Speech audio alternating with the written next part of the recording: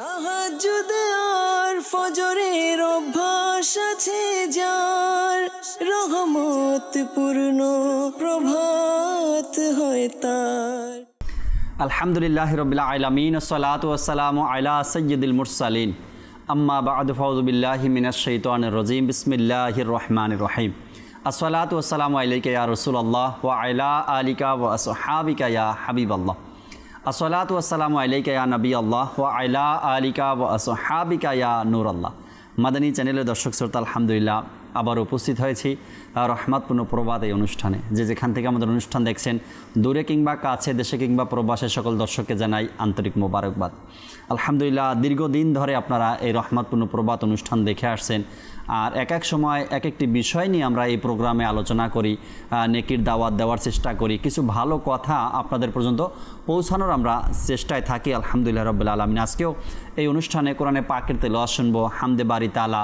নাতে রসুলে মকবুল সাল্লাহ তাইলা আলহি ওসাল্লাম আর এর পাশাপাশি যে বিষয় আজকে নিয়েছি, আমরা এ বিষয় সম্পর্কেও গুরুত্বপূর্ণ কিছু কথা, আলোচনা শুনব, জানব ইনশা আল্লাহ তাবারক তালা নবী আকরাম সাল্লাহ তাইলা আলিহি ওয়াসাল্লামের উপর দুরুশরীফ পাঠ করার অসংখ্য ফজিলত আর বরকতের কথা কিতাবের মধ্যে, হাদিসে মোবারাকার মধ্যে বর্ণিত রয়েছে নবী পাক সাল্লাহ তাইলা আলিহি ওসাল্লাম ইরশাদ করেছেন, যে ব্যক্তি আমার উপর দৈনিক পঞ্চাশ বার দুরুশরীফ পাঠ করবে, কাল কেয়ামতের ময়দানে আমি তার সাথে মুসাফা করব। সাল্লু আল হাবিব সাল্লাহ তাইলা আলা মোহাম্মদ সাল্লাহ তাইলা আলিহি ওসাল্লাম দর্শক, শ্রোতা আল্লাহ চাই ইনশাআল্লাহ তাবারকতালা আজকের অনুষ্ঠানে আপনাদের কলগুলো শোনার চেষ্টা করবো আমরা এস এম এসগুলো পড়ার চেষ্টা করবো ইনশা আল্লাহ তাবারকতালা যে যেখানে আছি আমরা ভালো ভালো নিয়ত সহকারে কোরআনে পাকের তেলোয়াত আমরা শ্রবণ করি এরপর আজকের বিষয় আপনাদেরকে জানাবো ইনশা আল্লাহ তালা জি কোরআনে পাকের তেলোয়াত শুনিয়ে দিন أعوذ بالله من الشيطان الرجيم بسم الله الرحمن الرحيم يروا أنا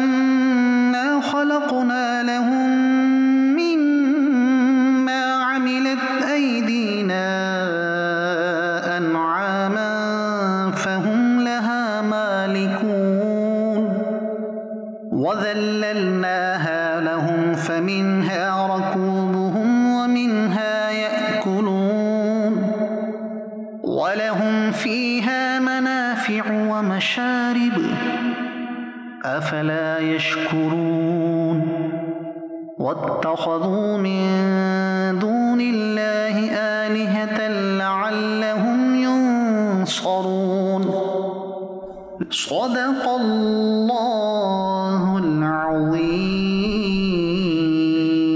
সুবাহান আল্লাহ সুবাহান আল্লাহ চমৎকার কিছু কোরআনে পাকের তেলাওয়াত আমরা শুনলাম এবং স্ক্রিনে এর তর্জমাও কিন্তু আমরা দেখলাম। আল্লাহ তাবারকতাল্লাহ কোরআনে পাকে আমার জন্য, আপনার জন্য, আমাদের জন্য কি এর সাত করেছেন, কি রেখেছেন আমাদের জন্য?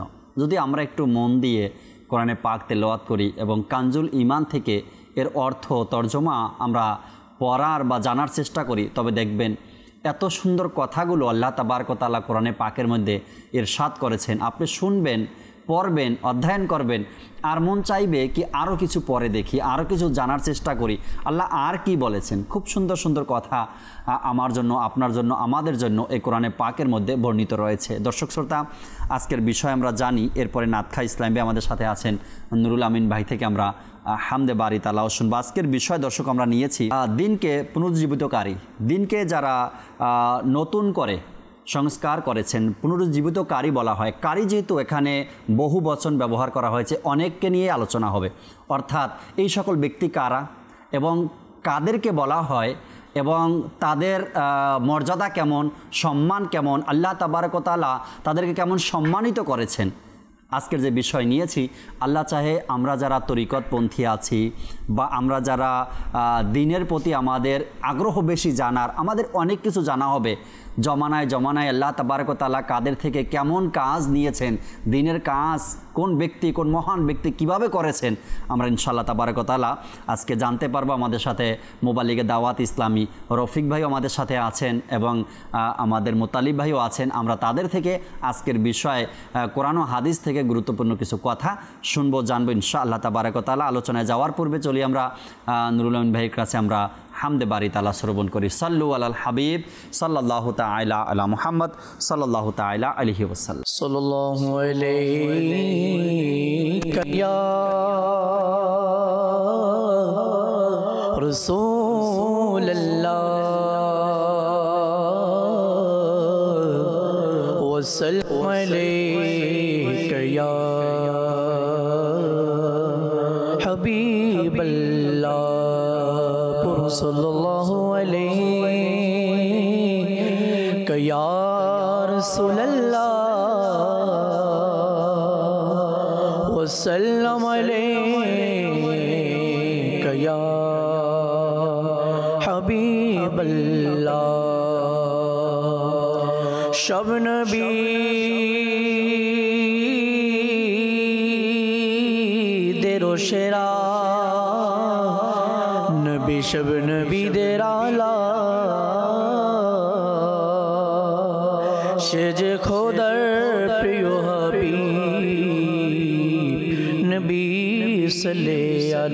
صلى الله عليك يا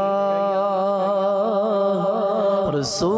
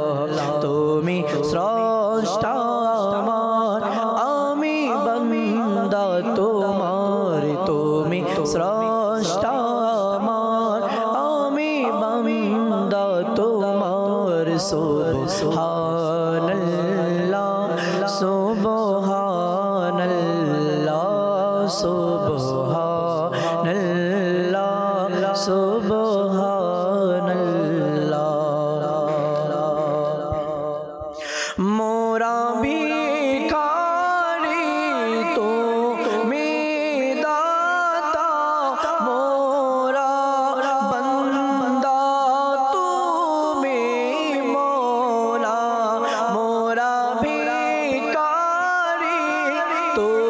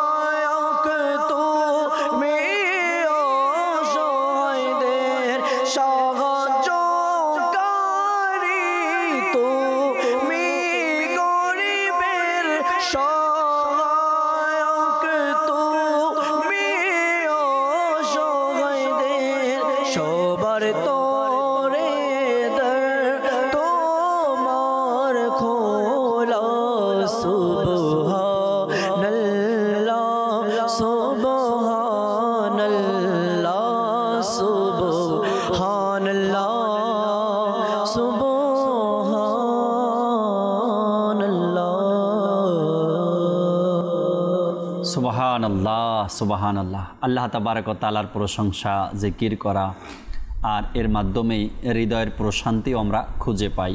আর হৃদয়ের মরিচাগুলো দূর হয়ে যায় আল্লাহ তাবারক তালার জিকিরে, আল্লাহ তালার স্মরণে, আল্লাহ তালার ইবাদতে। আমরা চেষ্টা করি সবসময় নিজের জবানকে যেন আমরা আল্লাহ তালার জিকিরের মাধ্যমে দুরু শরীফের মাধ্যমে যেন সময়কে অতিবাহিত করতে পারি। তবে আল্লাহ চাই ইনশাল্লাহ তাবারকতালা এর সওয়াবও পাবো। এবং হৃদয়ের প্রশান্তিও আমাদের অর্জন হবে ইনশা আল্লাহ তাবারকতালা আমরা আজকের আলোচনা শুরু করব রফিক ভাই থেকে যে বিষয় আজ আমরা নিয়েছি দিনকে পুনরুজ্জীবিতকারী এর মানে কি এবং কোন কোন ব্যক্তিদেরকে বোঝানো হয় এ দ্বারা এবং তাদের বৈশিষ্ট্য নিয়ে মোতালিব ভাই আছেন তিনিও কিছু আলোচনা ইনশাল্লাহ তালা করবেন। রফিক ভাই থেকেই শুরু করতে চাই। ভাই কেমন আছেন? আলহামদুলিল্লাহ। মাশাল্লাহ আল্লাহ তালা কবুল করেন বিষয় তো শুনেই নিয়েছেন দর্শকও শুনেছেন। শুরুটাই যদি আপনার থেকে করি কিছু গুরুত্বপূর্ণ দিক নিয়ে যদি আলোচনা শোনাতেন আমাদেরকে। ইনশাআল্লাহ যেহেতু আজকের বিষয় আপনি নিয়েছেন পুনরুজ্জীবিতকারী। এই শব্দটা নিয়েও অনেকে দ্বিধায় দ্বন্দ্বে থাকে। যে পুনরুজ্জীবিতকারী কি আল্লাহ তালাকেই বোঝানো হচ্ছে? আচ্ছা। এই শব্দটার মধ্যে অনেকটা গভীরতা আছে। রাইট এবং কিছু বিষয় আছে জানার। যেমন অনেক সময় আমরা শব্দের শব্দের মধ্যে আমরা ঘুলিয়ে ফেলি। হ্যাঁ? দুটো শব্দকে এক করে ফেলি। তো আল্লাহ তালার শানে যে শব্দটা ব্যবহৃত হয় সেটা হচ্ছে জীবিতকারী। জি। আল্লাহ তালা জীবিতকারী। আল্লাহ তালার প্রদত্ত ক্ষমতা বলে আম্বিয়া কেরামও জীবিতকারী। মৃতকে জীবিত করেছেন। তো পুনরুজ্জীবিতকারী যেটা যে শব্দটা হচ্ছে এটা হচ্ছে উজ্জীবিত করা সতেজ করা। সতেজ করা রাইট এখানে জীবিত করা না উজ্জীবিত করা। তো জীবিত এবং উজ্জীবিতর মধ্যে পার্থক্য রয়েছে। অনেক পার্থক্য রয়েছে। সতেজ করা রিফ্রেশ করা। মূলত পুনরুজ্জীবিতকারী যেহেতু আজকে বিষয় রেখেছেন আর এখানে আপনার উদ্দেশ্য ছিল যে যারা মুজাদ্দিদ জি। দুনিয়াতে এসেছেন এবং দুনিয়া থেকে তাদের দায়িত্ব পালন করে গেছেন আল্লাহ তালার দয়ায়। তো সেই মুজাদ্দিদ শব্দের কিছু অন্তর্নিহিত যে তাৎপর্য রয়েছে এর যে ব্যাখ্যা রয়েছে সে সম্পর্কে একটু জানার চেষ্টা করি যে মূলত মুজাদ্দিদ শব্দের অর্থ এটা এটা শব্দটা এলো থেকে মুজাদ্দিদ মূলত শব্দটি হচ্ছে আরবি মূল ক্রিয়া তাজিদিদ থেকে নির্গত। আচ্ছা। তাজিদিদ শব্দ থেকে মুজাদ্দিদ শব্দের আবির্ভাব যার অর্থ হচ্ছে নবায়ন করা মেরামত করা পুনর্নির্মাণ করা যা দিনের স্বার্থে ও দিনের দিনই কল্যাণে সম্পাদিত হবে। তো কাজেই মুজাদ্দিদ শব্দের অর্থ হলো পুনরুজ্জীবিতকারী পুনর্গঠনকারী ও সংস্কার সাধনকারী ইত্যাদি। দিনই সংস্কারের মহান কর্ম যিনি সম্পাদন করেন হাদিস শাস্ত্র ও শরী পরিভাষায় তিনি মুজাদ্দিদ উপাধিতে ভূষিত হন। যিনি প্রতি হিজরি শতাব্দীতে মুসলিম সমাজ সংস্কার মুসলমানদের মধ্যে অনুপ্রবেশকৃত অনইসলামিক রীতি রেওয়াজের মূলোৎপাটন এবং ইসলামের প্রকৃত আদর্শকে পুনঃপ্রতিষ্ঠা করার লক্ষ্যে আবির্ভূত আল্লাহ আল্লাহ আল্লাহ আল্লাহ। সুবাহান আল্লাহ কাজেই যেমনটি হাদিসা মুবারাকায় বর্ণিত রয়েছে মিশকা কিতাবের মধ্যেও এসেছে সুনানে আবু দাউদ কিতাবের মধ্যেও এসেছে আল্লাহ নবী হুজুর আরবি সাল্লাহ আলী ওয়াসাল্লামের ফরমান হচ্ছে বাণী হচ্ছে আল্লাহ তালা এই উম্মতের কল্যাণের জন্য প্রত্যেক শতাব্দীর শেষে এমন এক ব্যক্তিকে পাঠাবেন যিনি তাদের দিনকে সংস্কার করবে, দিনকে পুনরুজ্জীবিত করবেন। ইমাম জাহাবি এবং ইমাম ইবনে হাজার আসকালানি ব্যাখ্যা করেন যে মুজাদ্দিদ শব্দটি বহু বচন হিসাবেও বোঝা যায়। মুজাদ্দিদের মধ্যে আপনার বিশিষ্ট আলেম, ইসলামী শাসক এবং ইসলামী চিন্তাবিদও অন্তর্ভুক্ত অন্তর্ভুক্ত থাকে। প্রতি শতাব্দীতে একজন করে মুজাদ্দিদের আগমন ঘটে। যদিও বা একই শতাব্দীতে একাধিক মুজাদ্দিদের আগমন হওয়া অস্বাভাবিক অস্বাভাবিক। একই শতাব্দীতে একাধিক। মুজাদ্দিদ আসতে পারেন। তালিকার ক্রমবিন্যাসে জি। যাদের নাম ইতিহাসের পাতায় পাওয়া যায় তারা হলেন প্রথম যিনি মুজাদ্দিদ প্রথম শতাব্দীর জি। মুজাদ্দিদ হলেন উমর বিন আব্দুল আজিজ রহমতুল্লাহ এরপরে দ্বিতীয় শতাব্দীর মুজাদ্দিদ হলেন আহমদ বিন হাম্বাল। তৃতীয় শতাব্দীর মুজাদ্দিদ হলেন ইমাম বাইহাকি। চতুর্থ শতাব্দীর মুজাদ্দিদ হলেন ইমাম নাসাই। পঞ্চম শতাব্দীর মুজাদ্দিদ হলেন ইমাম গজ্জালি। ষষ্ঠ শতাব্দীর মুজাদ্দিদ হলেন ইমাম ফকরুদ্দিন রাজি। সপ্তম শতাব্দীর মুজাদ্দিদ হলেন ইমাম তকিউদ্দিন সুবকি। অষ্টম শতাব্দীর মুজাদ্দিদ হলেন ইমাম ইবনে হাজার আসকালানি। নবম শতাব্দীর মুজাদ্দিদ হলেন ইমাম জালাল উদ্দিন সৈয়ুতি। দশম শতাব্দীর মুজাদ্দিদ হলেন ইমাম মোল্লা আলী কারি। একাদশ শতাব্দীর মুজাদ্দিদ হলেন মুজাদ্দিদ আলফেসানি। দ্বাদশ শতাব্দীর মুজাদ্দিদ হলেন মহিউদ্দিন। দশ শতাব্দীর মুজাদ্দিদ ইমাম আহমদ রাজা।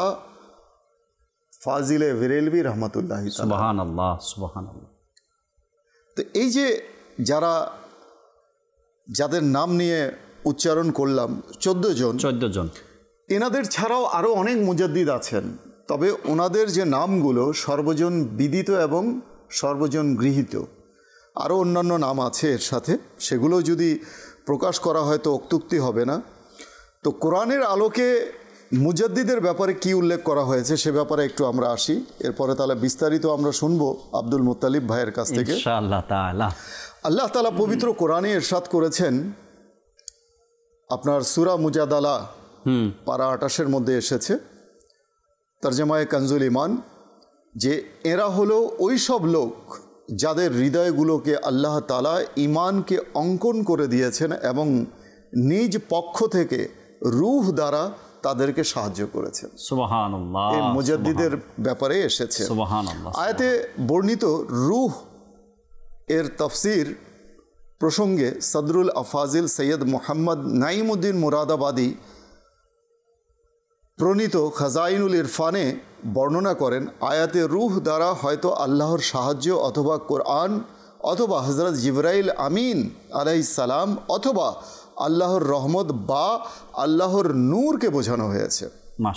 অর্থাৎ এ পর্যায়ে বান্দাদেরকে আল্লাহ উপরোক্ত গুণাবলী দ্বারা ধন্য করেন এবং আল্লাহর পক্ষ থেকে সাহায্য দ্বারা তাদেরকে শক্তিশালী করে এই যে মুজাদ্দিদ যারা রয়েছেন ওনাদের আগমনই বা কেন ঘটে? কি কারণে আগমন হয়?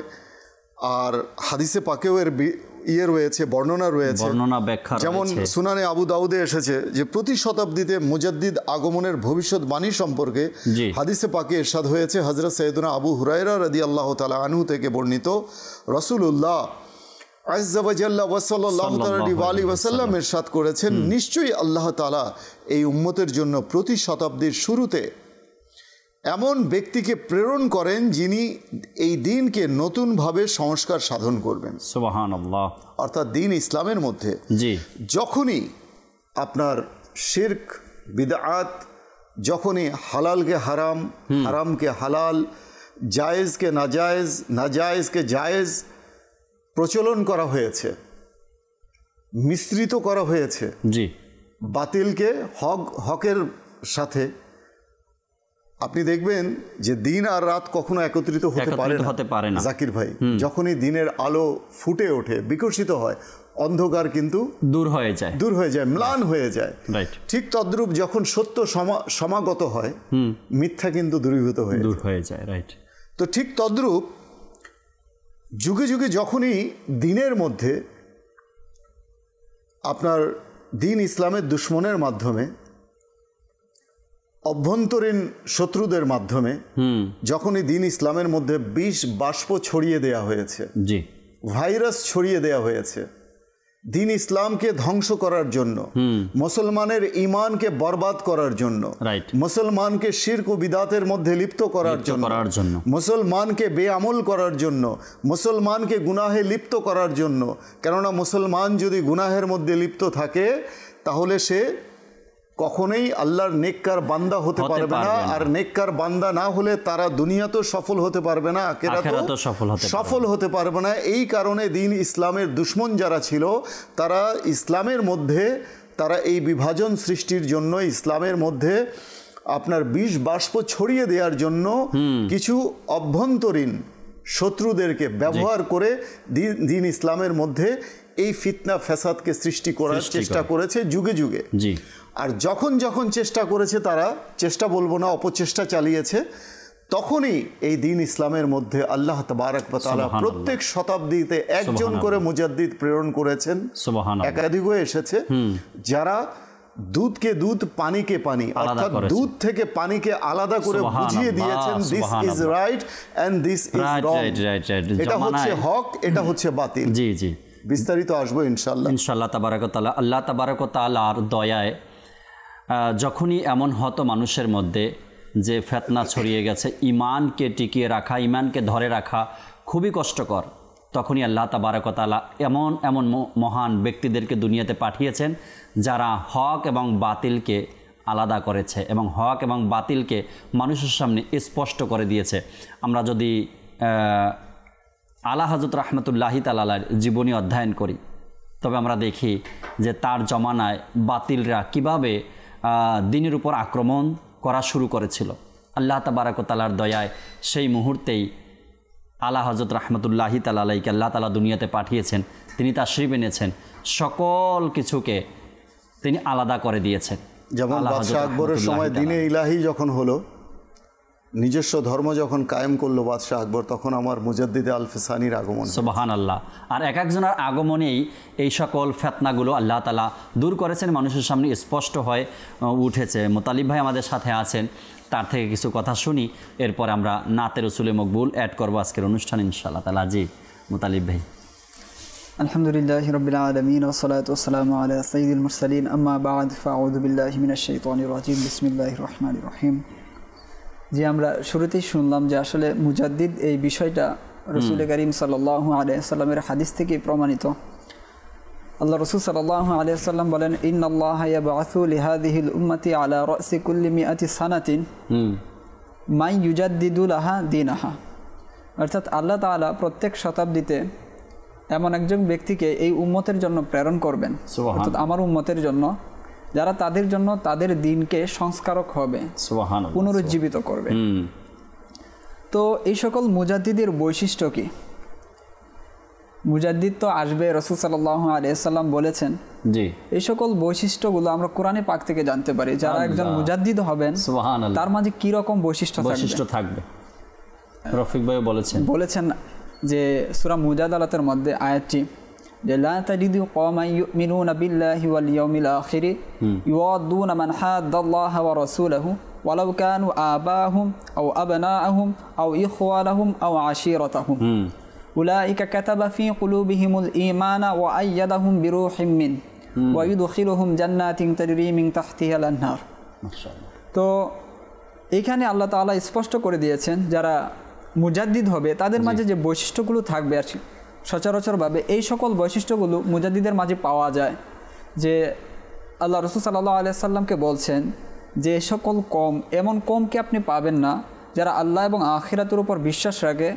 তারা আবার বন্ধুত্ব স্থাপন করবে ওই সকল ব্যক্তিদের সাথে যারা আল্লাহ এবং রসুলের সাথে শত্রুতা পোষণ করে। শত্রুতা পোষণ করে। তাদের সাথে তারা কখনো আপোষ করবে না। তাদের সাথে তাদের কখনো বন্ধু বা এরকম সৃষ্টি হবে না। হবে না।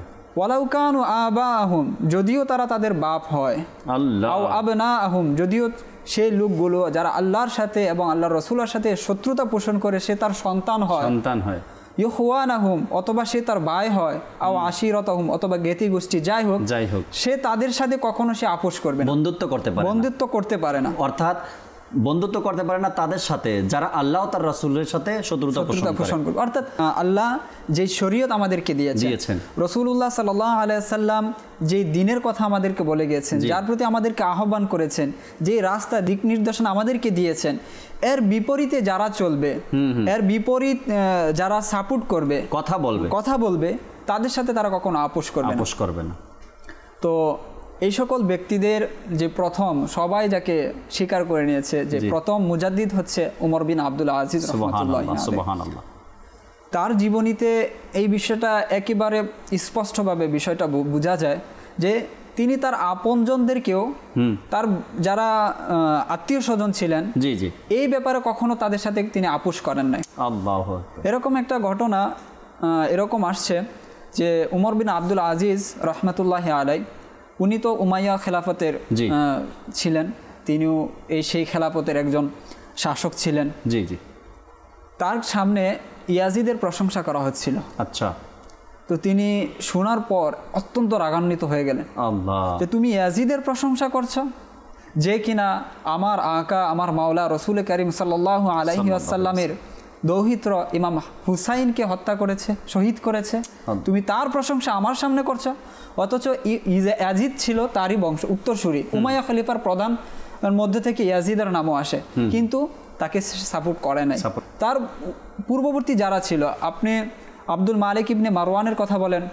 তারপরে তার ভাই যারা ছিল চাচাতো ভাই সুলাইমান বিন আব্দুল মালেক ওয়ালিদ বিন আব্দুল মালেক তাদের কারও প্রতি তার কখনো সাপোর্ট ছিল না। তাদের প্রশংসা তিনি কখনো করতেন কখনো করেননি। কারণ তারা মানুষের উপর অত্যাচার করেছে জুলুম করেছে উমর বিন আব্দুল আজিজ রহমতুল্লাহ আলাইয়ার জীবনী যদি আমরা দেখি তিনি কেমন ছিলেন? তিনি কীভাবে দিনের সংস্কার করেছেন? মানুষের যে ধ্যান ধারণা ছিল যে রাজা হলে ভোগ করতে হবে রাজা হলে মানুষের উপর অধিকার খাটাতে হবে রাজা হলে জুলুম, অত্যাচার, করতে হবে। আসছে মানুষ। মানুষ যা দেখে আসছে। কিন্তু তাকে যখন সুলাইমান বিন আব্দুল মালেক ওসিয়ত করে গেল যে আমার পরিবর্তে যে খেলাপথ প্রাপ্ত হবে সে উমর বিন আব্দুল আজিজ হবে। এই ঘোষণা যখন তার কানে গেল তিনি কান্না শুরু করে দিলেন। আল্লাহ। কাঁদতে আরম্ভ করলেন। তো পরবর্তীতে কাঁদতে কাঁদতে মসজিদে গেলেন মানুষদেরকে বায়াত করবেন। তো বায়াত করার পূর্বে তিনি মানুষদেরকে বলছেন যে তোমাদেরকে আমি অবকাশ দিচ্ছি। তোমরা চাইলে আমার কাছে বায়াত হতে পারো আবার চাইলে নাও হতে পারো। তোমাদের মার্জি আমাকে তোমরা খলিফা হিসাবে গ্রহণ করতে পারো নাও করতে নাও পারো। করতে পারো। তোমাদেরকে সুযোগ দেওয়া হলো। তখন মানুষ বলল না আমরা আপনাকে খলিফা হিসাবে মেনে নিলাম। তখন তিনি তারপরও বললেন যে তোমরা আমাকে মেনে নিয়েছো ঠিক আছে। কিন্তু আমার ইতাআত আমার অনুসরণ তোমরা ততদিন পর্যন্ত করবে যতদিন পর্যন্ত আমি আল্লাহ তাআলার ইতাআত করব। যতদিন আমি শরীয়তের উপরে শরীয়তের উপরে আল্লাহ অর্থাৎ আমাকে যদি তোমরা ইসলামের বিরোধী কোনো কাজ করতে দেখো শরীয়ত বিরোধী কোনো কাজ করতে দেখো সেদিন থেকে তোমাদের আমাকে মানতে হবে না। মানতে করা ছেড়ে দাও। ইতাহাত করে ছেড়ে দাও। তিনি কেমন ছিলেন? তার বাবা ছিলেন আব্দুল আজিজ তিনি গভর্নর ছিলেন মিশরের গভর্নর। ছোট থেকে তিনি পড়াশোনা করেছেন মদিনায়। তো বাবা গভর্নর ছিলেন চাচা ছিলেন খেলাফত যিনি রাজত্ব রাজত্ব তার হাতে ছিল। তার চাচাতো ভাই যারা ছিলেন সুলাইমান বিন আব্দুল মালিক বলি বা ওয়ালিদ বিন আব্দুল মালিক বলি তারা রাজা ছিলেন। তো সেই হিসাবে তিনিও কখনো মদিনার গভর্নর হয়েছেন মক্কার গভর্নর হয়েছেন। কিন্তু তখন তার জীবন আড়ম্বরপূর্ণই ছিল। তিনি পোশাক দামি দামি পোশাক ব্যবহার করেছেন। এমনকি এটাও এসেছে যে পোশাক কেনার জন্য যখন গোলামকে পাঠাতেন বলতেন বাজারের মধ্যে সবচেয়ে দামি যে পোশাকটা আছে সেটা আমার জন্য নিয়ে আসবে। তখন এই অনুরূপভাবে আতর কেনার জন্য পাঠাতেও তিনি বলতেন সবচেয়ে দামি যে আতর সুগন্ধি যেটা। সেটা আমার জন্য নিয়ে আসবে। তিনি এগুলো পরিধান করে বা আতর লাগিয়ে যখন রাস্তা দিয়ে হেঁটে যেতেন তো মানুষ বুঝতে পারতো যে এই রাস্তা দিয়ে উমর বিন আব্দুল আজিজ রহমতুল্লাহ তালা আলাই গেছে তো জীবনও তিনি অতিবাহিত অতিবাহিত করছে। তখন তো তার উপরে দায়িত্ব ছিল না। ছিল না। তো যখন তাকে খেলাফতের দায়িত্ব দেওয়া হয় তো কান্না শুরু করলেন যে আমার উপরে কোনো মানুষের দায়িত্ব ওই রকম ছিল না। এখন আমার উপরে এরকম একটা দায়িত্ব এসে পড়েছে যে সেই সময় উমাইয়া খেলাফতের যে রাজত্ব ছিল তার সীমানা কতটুকু ছিল। এশিয়া মহাদেশেও ছিল আফ্রিকাতেও ছিল ইউরোপেও ছিল। সে এত বিশাল একটা দায়িত্ব। দায়িত্ব তার উপরে এসে পড়েছে। এতগুলো মানুষ বলা হয় যে সেই সময় উমাইয়া খেলাফতের অন্তর্ভুক্ত পৃথিবীর উনত্রিশ শতাংশ মানুষ এই খেলাফতের অন্তর্ভুক্ত ছিল। তো এতগুলো মানুষের দায়িত্ব যখন তার উপরে যখন চিন্তা ভাবনা করতেন তখন কান শুধু কান্না করতেছেন শুধু কান্না এতগুলো মানুষের দায়িত্ব আমি কীভাবে পালন করব? তারা মোতালিব ভাই মোজাদ্দিদ তারা কিন্তু যার কথা বলছেন তিনিও একজন মুজাদ্দিদ। মুজাদ্দিদ। আর তাদের চিন্তা হলো এই যে দায়িত্ব আমাকে দেওয়া হয়েছে এই দায়িত্ব এটা নয় কি আমাকে দেশগুলো সুন্দর করতে হবে সাজাতে হবে গোছাতে হবে। এরপরে আইন শাসন এগুলোকে আমাকে আরও সুন্দর করতে হবে আপডেট করতে হবে। এই চিন্তাতে কিন্তু কান্না কান্না করেননি। কান্না করেছেন? আমার দায়িত্বের মধ্যে আমাকে যে দায়িত্ব দেওয়া হয়েছে এর মধ্যে যত মানুষ আছে তাদের ইমান তাদের আমল তাদের আখলাক তাদের মুসলমানিত্ব তাদের ইমানকে আমি কীভাবে হেফাজত করব? এই চিন্তায় এই দায়িত্ব পাওয়ার পরে। একটা জিনিস তাদের মধ্যে সবসময় কাজ করতো জাকির ভাই সেটা হচ্ছে ক্ষুধা ভীরুতা খোঁজা বেরোতা যেমন আপনি দেখুন যে ইসলামের যিনি আপনার দ্বিতীয় খলিফা জি। হজরত সৈয়দুনা উমর রদি আল্লাহ তালাহু তিনি যখন খিলাফত তার খিলাফত কাল ছিল খিলাফতের সময় তিনি রাতের বেলা খুব কান্না করতেন।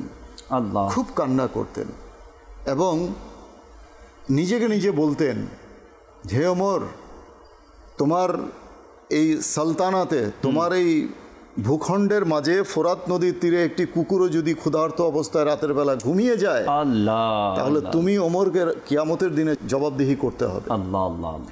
মানে কেমন ক্ষুধা ভীরুতা ছিল যে কথাটা বললেন আব্দুল মুতালিব ভাই যে হাজ সৈয়দুনা উমর ইবনে আব- আব্দুল আজিজ রহমতুল্লাহ তালার ব্যাপারে। যে ইসলামের প্রথম মুজাদ্দিদ জি। যে তিনি কেমন কথা বললেন যে আমাকে যতদিন পর্যন্ত তোমরা শরীয়তের উপরে পাবে। শরীয়তের উপরে পাবে আল্লাহ। ততদিন পর্যন্ত তোমরা আমার আনুগত্য করো আমাকে অনুসরণ করো আমার ইতাত করো কিন্তু যখনই দেখবে যে আমি শরীয়তের বাইরে কাজ করছি তখন তোমরা আমার অনুসরণ করো না। করো না। এটা কিন্তু কোনো যেন তেন মানুষ কোনো সাধারণ মানুষ বলতে পারে না। রাইট রাইট কাজেই মানুষের মধ্যে ভুল থাকবে মানুষের মধ্যে ত্রুটি থাকবে স্বাভাবিক। স্বাভাবিক। তো সেই আশঙ্কা নিয়েই তিনি বলেছেন জি। যে আমার দ্বারাও ভুল হতে পারে কিন্তু যখনই আমি ভুল করব তোমরা তখন সেদিন থেকে আমার অনুসরণ অনুসরণ আর করিও না। মানুষ যখন দায়িত্ব পায় আরও আপডেট হয় উন্নতর দিকে যায়। কিন্তু উমর বিন আব্দুল আজিজ রহমতুল্লাহ আলের বেলায় এই বিষয়টা ছিল বিপরীত। সম্পূর্ণ উল্টো উল্টো ছিল। বললাম যখন তার কাছে দায়িত্ব ছিল না তিনি একভাবে জীবন জীবন অতিবাহিত করেছেন। কিন্তু যখন দায়িত্ব আসলো তো দায়িত্ব পাওয়ার সাথে সাথে তার কাছে যত মাল ছিল যে তার সকল সম্পদ বাইতুল মালে জমা করে দেন অর্থাৎ রাষ্ট্রীয় কোষাগারে। তো নিজের সম্পদ তো তিনি জমা করালেন। তিনি গেলেন তার স্ত্রীর কাছে ফাতেমা বিনতে আব্দুল মালিকের কাছে। ফাতেমা বিনতে আব্দুল মালিক কে ছিলেন? ফাতেমা বিনতে আব্দুল মালিক আব্দুল মালিকের মেয়ে। অর্থাৎ সেও খিলাফত আব্দুল মালিক সেও খিলাফতের রাজ বাদশাহ ছিলেন সালতানাতের সেও পরিচালনা করেছেন তার দুই ভাই ওয়ালিদ বিন আব্দুল মালিক সুলাইমান বিন আব্দুল মালিক তার দাদা মারওয়ান সকলেই খিলাফত রাষ্ট্র পরিচালনা করেছেন সবাই বাদশাহ। বাদশাহ ছিল এবং। বাদশাহীতে জীবন অতিবাহিত তিনি কীভাবে জীবনটা অতিবাহিত করছেন যে তার বাবা বাদশাহ তার ভাইয়ের বাদশাহ ছিল এখন স্বামী বাদশাহ হয়েছে। কিন্তু আব্দুল ওমর বিন আব্দুল আজিজ রহমতুল্লাহ আলাই খেলাফত পাওয়ার পর গেলেন স্ত্রীর কাছে। যে আমার যত সম্পদ আছে সবগুলো আমি রাষ্ট্রীয় কোষাগারে জমা করে দিয়েছি। তোমার যা অলঙ্কার আছে তোমার কাছে যা আছে সেগুলোকে তুমি রাষ্ট্রীয় কোষাগারে জমা করে দাও। তো। এমন একজন মহিলা যিনি সারাটা জীবন এমন একটা শাহিনশাহের মতো জীবন পার করেছেন তিনিও স্বামীর কথা লাভবাহিক বলে যে আমার যা কিছু আছে আমি শুধু আপনাকে চাই। আমার সবকিছু সব কিছু রাষ্ট্রীয় কোষাগারে জমা করিয়ে দিন। এর দ্বারা জানা মুসলিম উম্মার খিদমত হয়। মুসলিম উম্মা যেন এর জন্য ফায়দা লাভ করতে পারে। পরবর্তীতে তাদের জীবনটা কীরকম হলো? যে তিনি যে আয় করেন সে আয় দিয়ে দুই বেলা যে রুটি খাবে ঠিক মতো সেটাও হয় না। অথচ পুরা এশিয়া আফ্রিকা তার রাজত্বের রাজত্ব- মধ্যে। মধ্যে। তিনি চাইলে রাষ্ট্রীয় কোষাগার থেকে তার ব্যয় যথেষ্টভাবে তিনি বহন করতে পারতেন নিতে পারতেন। তো এক পর্যায়ে এরকম একটা সময় এলো তিনি ঘরের ভিতরে প্রবেশ করলেন ঢুকলেন। দেখলেন যে মেয়েরা তাকে দেখার পর উনা দিয়ে মুখ ঢেকে রাখছে। তো বললেন মেয়েরা কি হয়েছে? যে তোমরা আমাকে দেখার পর মুখ ঢেকে রাখছো? এক দুইবার দুইবার যখন এভাবে প্রশ্ন করলেন তখন বললেন বাবা আপনি যে উপার্জন করেন তা দিয়ে তো শুধু দুই বেলা রুটি হয়। এর সাথে আর তরকারি বা অন্য কিছু হয় না। তাই আমরা রুটি আজকে পেঁয়াজ দিয়ে খেয়েছি। তো আমরা ভয় পাচ্ছি আমাদের মুখ থেকে পেঁয়াজের গন্ধ বের হবে এটা আপনি হয়তো অপছন্দ করবেন। তখন আব্দুল আজিজ রহমতুল্লাহ আলাই কাঁদতে লাগলেন। যে আল্লাহ একবার আমি যা চেয়েছিলাম আমি আমার পরিবারকে যে জায়গায় দাঁড়া করাতে চেয়েছিলাম যেই জায়গায় নিয়ে আসতে চেয়েছিলাম আল্লাহ তোমার শুক্রিয়া যে আমার পরিবারকে তুমি সেই জায়গায় এনে দাঁড় করিয়েছো। তার সন্তানরাও এমন ছিল যে উমর বিন আব্দুল আজিজ রহমতুল্লাহ আলাই ঈদের দিন নামাজ পড়ানোর পর দেখতেছেন তার ছেলে। ছেলের গায়ে একটা পুরানো জামা। ছেলের কাছে আসলেন বললেন তোমার হয়তো অনেক খারাপ লাগছে যে তুমি সালতানাতের বাদশাহ। তার ছেলে হয়ে একটা পুরাতন জামা পরে ঈদের নামাজ পড়- পড়তে আসছো। তো তাদের জীবনটা এরকম ছিল।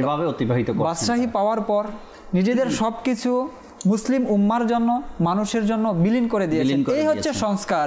যে তার পূর্ববর্তী যারা ছিল হ্যাঁ। তাদের বেলায় মানুষ এটা শিখেছিল যে বাদশা হলে ভোগ আরাম করতে হবে হ্যাঁ। কাটাবে। যখন আমি কোনো ক্ষমতার অধিকারী হব তখন আমাকে খুব আরাম আয়েসে জীবনযাপন করতে হবে কিন্তু সেই মতবাদকে সেই বিশ্বাসকে মানুষের মাঝে পাল্টে দিলেন যে না যখন তোমার উপর দায়িত্ব আসবে সেই দায়িত্ব তোমাকে ভালোভাবে ইসলাম অনুযায়ী পালন করতে হবে এটাই হচ্ছে এখন যদি বাদশাহ এমন হয় বাদশাহী পাওয়ার পরে রাজত্ব পাওয়ার পরে সে আহ, আলিশানভাবে তার জীবন অতিবাহিত করছে। বাদশারা অন্য অন্য দুনিয়াদার বাদশারা যেভাবে অতিবাহিত করছে আর তিনিও এভাবে অতিবাহিত করবেন। তবে তার রাজত্বে যারা আছে তারাও তো এটাই শিখবে এটাই দেখবে। আপনি- তবে দিনকে কি পেল শরিয়াতকে কি পেল এজন্য তিনি পুরাটাই পরিবর্তন করে দিয়েছেন। আল্লাহ একবার এর পূর্ববর্তী তার যে চাচাতো ভাইরা ছিলেন সুলেমান বিন আব্দুল আজিজ আর ওয়ালিদ বিন আব্দুল আজিজ আপনি যেটা বললেন মানুষ যা দেখে তাই শিখে। তো সুলাইমান বিন আব্দুল আজিজের ক্ষেত্রে তার অবস্থা এরকম ছিল সে বিবাহকে পছন্দ করত।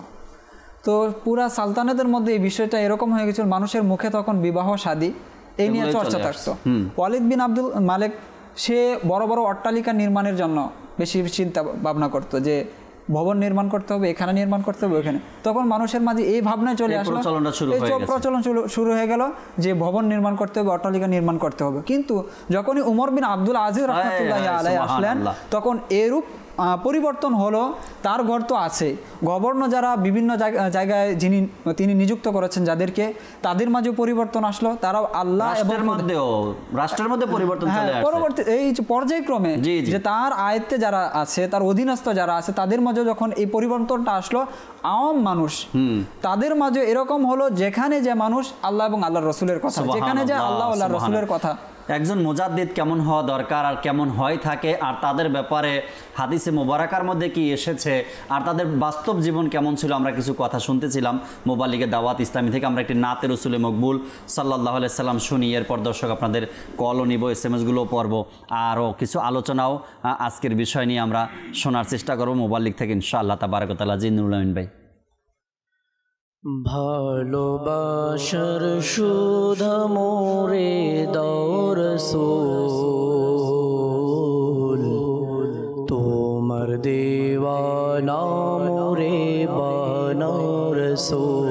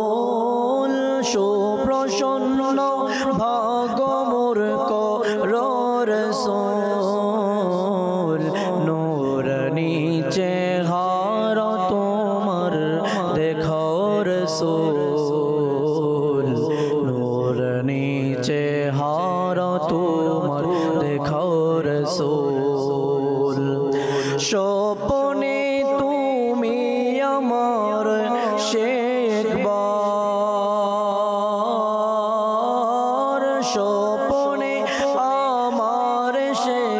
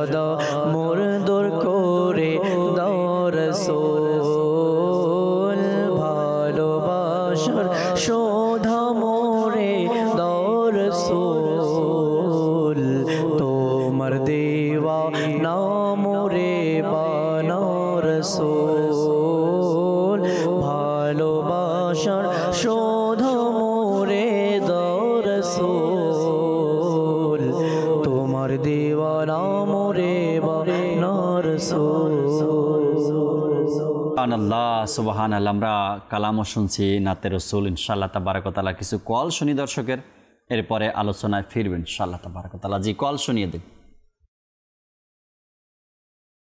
আমার নাম মোহাম্মদ শফিকুর রহমান। কুমিল্লা লাকসাম থেকে বলছি মাদানী আমরা রেগুলার দেখি একটা নাচ রাসুল শুনতে থাকি সোনার মদিনা আমার প্রাণের মদিনা। মাশাল্লাহ আমার সোনার মদিনা, আমার প্রাণের মদিনা, সব ভুলিব কিন্তু তোমায় ভুলতে পারি না। নুরুল আমিন ভাই শোনাবে আমাদেরকে ইনশাআল্লাহ তালা পরবর্তী করল আমার নাম আমি অনুষ্ঠানটি দেখছি আমার কাছে অনেক ভালো লাগে। আমি আর আমার মামুনি মাদানী চ্যানেল খুব পছন্দ করি। আমি এই অনুষ্ঠান থেকে কিছু নাচ শুনতে চাই। জাল্লাল্লাহ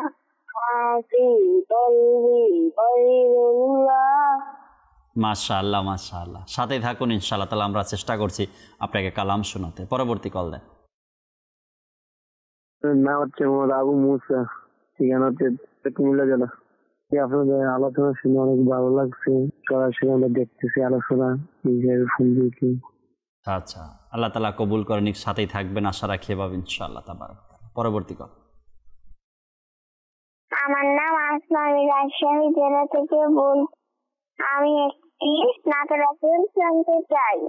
প্রিয় নবীর কোকিল আমি। এটা শুনলে খুব খুশি হতাম।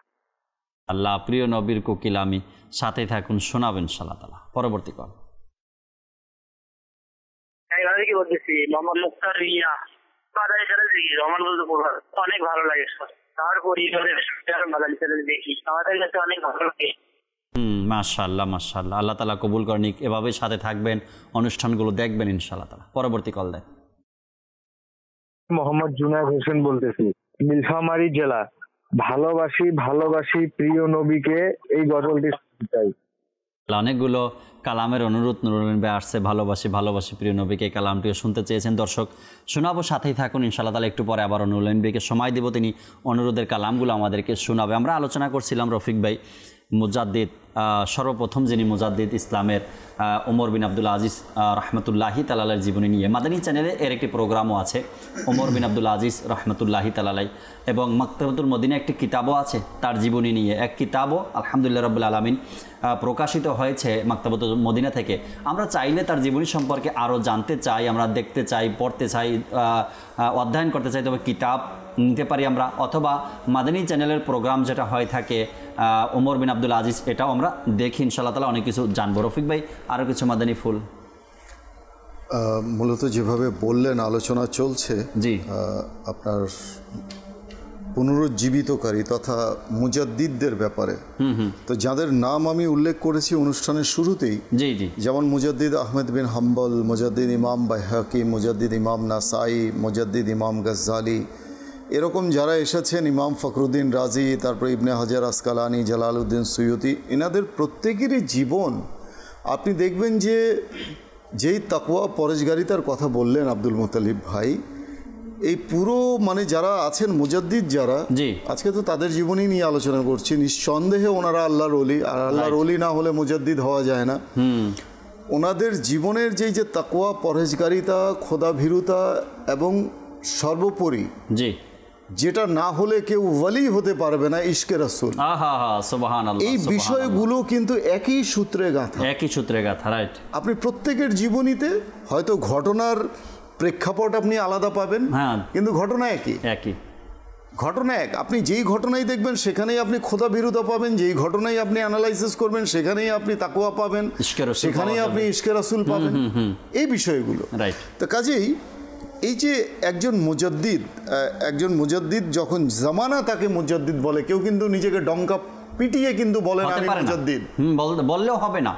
যখন জগৎ না বলবে। যেমন আমির আলে সুন্নাতেরই দেখুন না আমির আলে সুন্নাত কি নিজে নাম নিয়েছেন যে আমাকে সবাই আমির আলে সুন্নাত বলুন? না।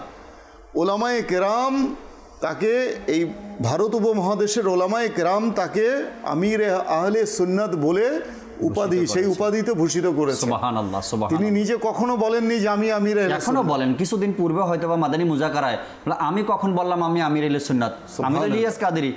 মানুষ আমাকে বলে আমির এলে সুন্নাত। আল্লাহু আকবার। হ্যাঁ, নিজে নিজে বলে। এটাই হচ্ছে তাকওয়া। আল্লাহ। এটাই হচ্ছে খোদা ভীরুতা মানে নিজের বাহবা না চাওয়া।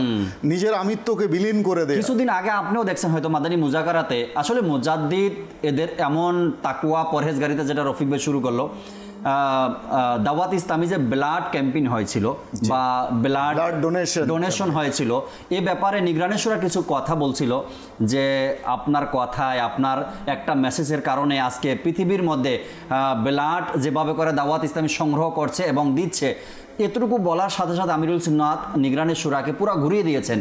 বলে, ভাই, এই কথা আর বলবেন না আপনারা। আমি কি কি বলছি? আমি তো বয়স হয়ে গেছে। আমি তো বসে আছি।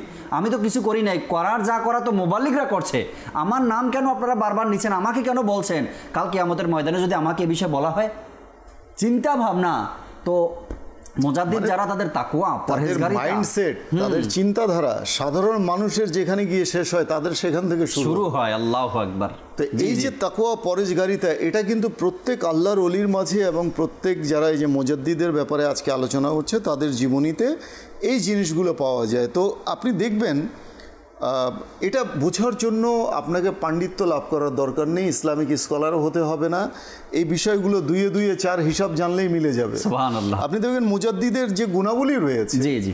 এই গুণাবলী কোনো একজন মুজাদ্দিদের মাঝে যদি থাকে তো তাহলে তাকে মুজাদ্দিদ হিসাবে মানা যাবে। গুণাবলী। কি কি গুণাবলী? যেমন নাম্বার এক মুজাদ্দিদ সৎ কাজের আদেশকারী এবং অন্যায় কাজের নিষেধকারী হবেন। জি সৎ কাজের আদেশ দিবেন আপনি-। দেখেন ইমামে আহলে সুন্নাতকে দেখেন আলা হজরত ইমাম হাজরাজা জীবনে। নিষেধ করেছেন। তার যে তিনি যেই গদ্দি নসীন তার যে পীর পিরানা মানে পীর ঘরানা থেকে। যে যিনি আসলেন গদ্দি নসীন তার নাম হচ্ছে মোহাম্মদ মেহেদি হাসান মারহারভি হুম। তিনি যখন এলেন তার গদি নাসিন তো বিরেলি শরীফে যখন এলেন তিনি তিনি আসলে আলা হজরতের ঘরে উঠতেন। আলা হজরতের বাড়িতে উঠতেন। সেখানে তার মেহমানদারি হতো। তো আলা হজরত রহমতুল্লাহি তালা আলাই চিরচরিত নিয়মে তিনি হাত ধোয়াতেন তার। প্রতিবারই এলে। তো একবার তিনি আসলেন দেখলেন তার হাতে ব্রাসলেট স্বর্ণের ব্রাসলেট এবং আংটি। আচ্ছা। আলা হজরত রহমতুল্লাহি তালা আলাই দেখুন তার পীর ঘরানা হুম।